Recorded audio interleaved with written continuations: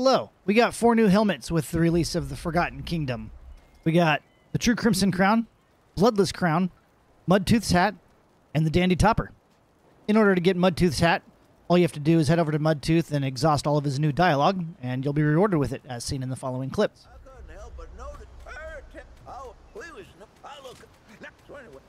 Man. Yeah, with her. Oh, then I look at the. eh, I.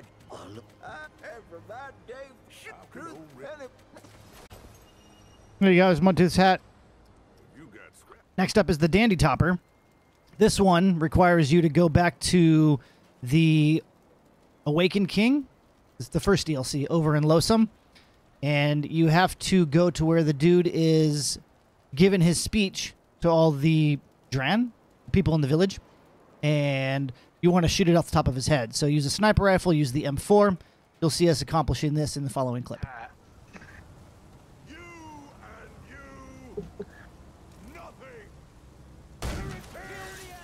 Bam! Did you get next up is the bloodless clown, clown, crown, the bloodless crown. Whew. This is located in the new Goddess's Rest dungeon. You don't have to run the Forbidden or the Forgotten Kingdom map. Any Yaesha map has a chance to spawn this dungeon. But it's located at the end of the dungeon after you open up the temple with the five pillars, as seen in this clip here.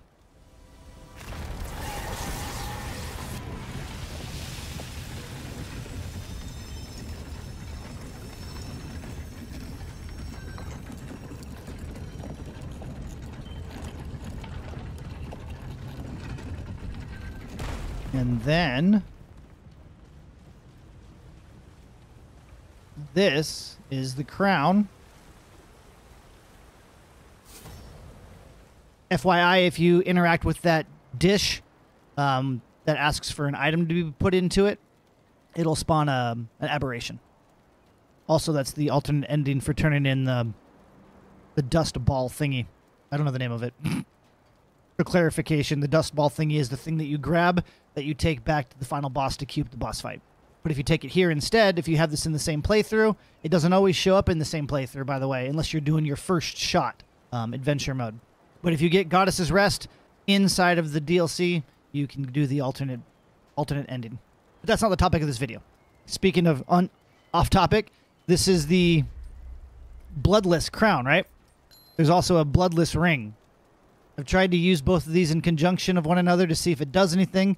Because if you remember, we had the loadsome crown and the loadsome ring from the base game, and the loadsome crown illuminates things. And there's a bunch of myths out there about what it does. It doesn't do anything besides illuminate things. Doesn't show hidden walls, but if you wear the ring, you get extra damage against illuminated targets.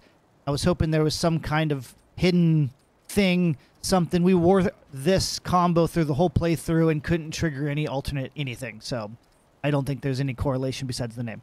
Lastly, is the True Crimson Crown.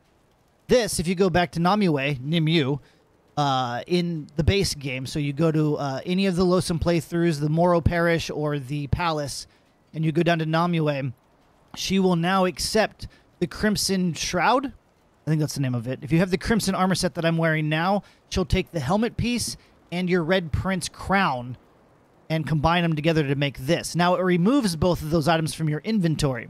You can go back and kill the Red Prince with your Assassin's Dagger to get the crown again, or the, the crown of the Red Prince.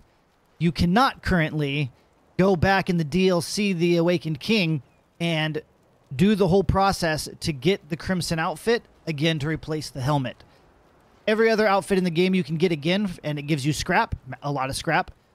This one is not giving you anything. So I feel like it's a bug and it'll get patched and you'll be able to go back eventually and, and get it. But if you're trying to collect everything, right now you cannot go back and get the original Crimson Shroud helmet. Just as a FYI. And if you're wondering how to get the Crimson outfit, it's from the previous DLC. I did not cover it. I don't have a video on it.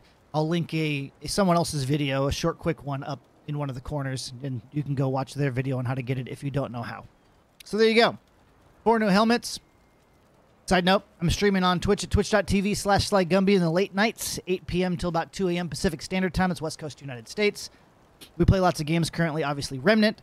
As of this recording, Timid and I are working on our hardcore completion run. We're almost done. We'll see if we can complete it tonight. Maybe. Anyways, I'm out. See you in the next one. Bye bye now.